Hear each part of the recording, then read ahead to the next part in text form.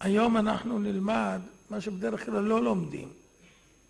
אנשים אוהבים הרצאות מצחיקות, דברים כאלה וזה. אז אני היום לא מצחיק. אני מלמד חומר רציני. החומר הרציני זה איך עושים תשובה. כולם מדברים על תשובה, תשובה, צריך לעשות תשובה, תשובה, תשובה, ולא יודעים בכלל מה זה תשובה. אז בואו נלמד סוף סוף מה זה תשובה ואיך עושים תשובה.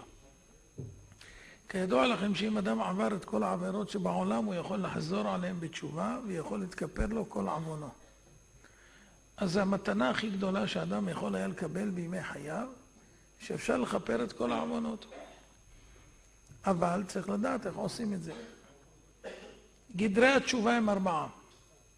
הראשון זה החרטה על כל, על כל העוונות שהוא עשה. אדם צריך להתחרט על כל העוונות שעשה. זה דבר ראשון. דבר שני, הוא צריך לעזוב את העוונות, את הדרך הרעה, ולסור מהעוונות. זהו, ניתוק גמור מהעוונות. אז זה דבר שני. דבר שלישי, שיתוודה בהם ויבקש המחילה עליהם. צריך וידוי, להגיד מה הוא עשה בפיו ולהתוודות, ולבקש מחילה מהקדוש ברוך הוא עליהם. ודבר רביעי, שיקבל על נפשו שלא ישוב לעשותם בליבו ובמצפונו. והחרטה היא אות על זה שהוא מבין את הגנות במעשים שהוא עשה בעיניו. כמו שכתוב, מי יודע ישוב וניחם והשאיר אחריו ברכה. מי שיודע שהוא עבר עבירות, ישוב בתשובה ויתחרט וישאיר אחריו ברכה. ומי שמתמיד על חטאיו, אין איש ניחם על רעתו. ירמיה היה מתאונן על בני דורו שהם לא מתחרטים על הרעה שהם עושים, ולכן בא חורבן הבית. בכל מגילת איכה זה ירמיה אמר לעם ישראל לפני שיקרה שנתיים. שנתיים הוא אומר להם בדיוק מה הולך להיות. עם כל התיאור של מגילת איכה. לא שמעו לו. ובסוף זה בא. והוא היה מתאונן, אין איש ניחם על רעתו. וזה ירמיה הנביא מדבר, לא שומעים. ובא חורבן הבית, ואנחנו מכירים את זה, תשעה באב יש לנו מזה. אז אלה ארבעה דברים, אבל ארבעת הדברים האלה, זה הגדרים של התשובה, זה הכללים. אבל יש גם תנאים, עשרים תנאים לקיום התשובה כראוי. עכשיו אנחנו לומדים אותם. כל אחד מארבעת הגדרים, כל אחד מהם יש לו חמישה תנאים. החרטה יש לה חמישה תנאים, העזיבה של העוונות חמישה תנאים, המחילה עם הווידוי חמישה תנאים, והקבלה לעתיד שלא לעבור עבירות חמישה תנאים. תנאי החרטה חמישה. דבר ראשון, זה שאדם ירא ממהירות העונש הבורא יכול לתת לחוטא על מה שקדם לו מן העוונות. כשאדם יודע שכל רגע יכול להיות שהוא יהיה מזומן לנזקים, למחלות, לתאונות, לצרות, לייסורים, לפגעים, זה מביא אותו מהר מאוד להתחרט. כדאי לך להתחרט מהר. איך נאמר אצל דוד? דוד אמר מיד, חטאתי, וניצל ולא הפסיד את המלוכה. שאול לא מיהר להגיד חטאתי, והפסיד את המלוכה. אז קודם כל, צריך אדם לדעת ולראות ממהירות עונש הבורא שיכול לבוא על החוטא, על העוונות שקדמו לו, וכך תתחזק החרטה. דבר שני, זה שבירת הלב וכניעה לאלוקים על מה שהיה ממנו מן החטא. אדם צריך לשבור את ליבו ולהיכנע לאלוקים על מה שהיה ממנו חטא. אתם תארים לכם בן אדם לוקח את כוחו מהקדוש ברוך הוא ומשתמש בכוחו של הקדוש ברוך הוא בפניו של הקדוש ברוך הוא ועובר עבירות מאוסות בעיני הקדוש ברוך הוא, לעיניו ולעיני כל המלאכים, וכל זה הוא עושה מכוחו של השם. תאר לך, בן אדם נותן לך מתנה עוגה ואתה דוחף לו אותה לפנים. נותן לך דיאט קולה, אתה עושה ככה, פשש, משפריץ עליו. איך להתייחס לאדם כזה שמקבל מתנה ומחזיר ככה? השם נותן לנו כוחות, נותן לנו יכולת, נותן לנו הרבה דברים טובים וחיוביים, ואנחנו לוקחים אותם לעבירות, למה שהוא לא רוצה, ומשתמשים בזה נגד השם לפניו. לכן, אדם צריך לשבור את ליבו ולהיכנע לאלוקים על מה שעשה חטאים לפניו. דבר שלישי, בעל התשובה שמתחרט, משנה את מלבושיו ותכשיטיו להראות את סימני החרטה. זאת אומרת, הוא לא הולך כמו שהיה הולך פעם, הכל ככה מראה גאווה וגאון, יש לו ויש לו, הוא מרגיש כחוטא, כשאדם נתפס בכלכלתו. הוא הולך כנוע, הוא הולך שבור, הוא לא הולך עם בגדים בשביל להראות כאילו, בעל עבירה שיודע בעל עבירה. אז הוא נראה אחרת, הוא לא, לא מתפאר בכל מה שיש לו, הפוך. מצניע את עצמו ויותר ויותר. אתם רואים שאדם מגיע לבית האסורים, מלבישים אותו בגדי אסיר.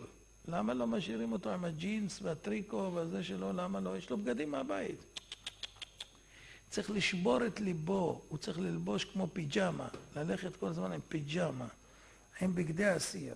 ולא רק מלבושו, תכשיטיו, יראה סימני חרטה, גם בדבריו איך הוא מדבר, במאכליו. גם כשהוא אוכל מאכלים צריך למעט במאכלים, כי מאכלים, אדם מתאווה. ואדם שהוא שבור, נגיד אם אדם שומע שיש איזה אסון, חס ושלום, איזה צרה או איזה מחר, יש לו חשק לאכול? אין לו. ואם אדם יודע שהוא חטא לפני הבורא יתברך, אז איך אתה ממשיך לאכול אותו דבר? אחאב היה רגיל לאכול, הוא היה רשע גדול אחאב. הוא היה רגיל לאכול כל שעה רביעית, נגיד עשר בבוקר. וכשהוא חזר בתשובה, כשאליהו אמר לו שהוא ימות, הוא וכל משפחתו, אז הוא לא אכל כל יום כבר בשעה רביעית, אכל בשעה שישית. דחה את האוכל בשעתיים. והקדוש ברוך הוא ראה את זה כתשובה, חוץ מהשק והאפר שהוא לבש, אבל השעתיים האלה חשובות בעיני השם שהוא נכנע. זאת אומרת, אדם שהוא בעל תשובה מכניע את עצמו, וחכמים קבעו צומות ותעניות לבעלי תשובה כדי לכפר על עוונותם. זאת אומרת, בעל תשובה צריך גם להוריד פרופיל, כמו שאומרים בתאוות שלו, כולל באכילה.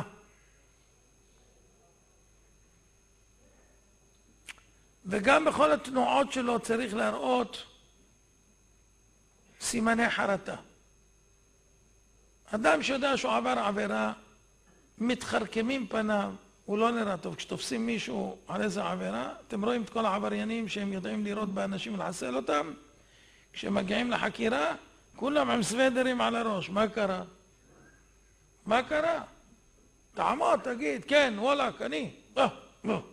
למה אתה לא עושה ככה? שבור מהפדיחה, תפסו אותו, זה לא נעים. ואתה הולך לפני הקדוש ברוך הוא, אולי בפני אנשים לא יודעים מה אתה עושה, אבל הוא יודע. אז איך אתה יכול להתהלך לפניו כאילו אתה לא עשית כלום?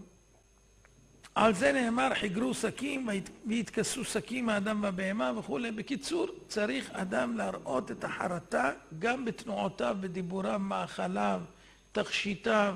כל הדברים האלה צריך שיראה שהאדם נכנע. זאת אומרת, זה מראה חרטה. זה מראה חרטה. דבר רביעי, הבכי והצעקה והאבל. אדם שיודע שהוא עבר עבירות, צריך לבכות לפני הקדוש ברוך הוא. לבכות באמת זה מצרך מאוד נדיר בימינו.